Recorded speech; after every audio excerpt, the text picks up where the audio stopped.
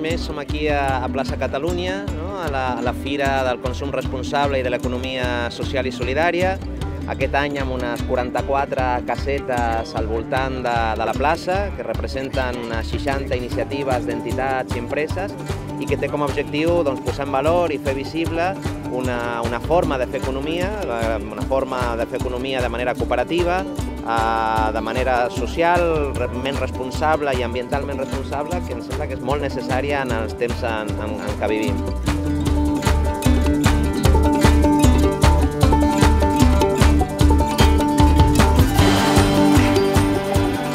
Em sembla una gran iniciativa que es tindria que donar més, més ressò tindria que tenir. Tot el que sigui mentalitzar la gent perquè pues, faci un un responsable i tot això està, està superbé.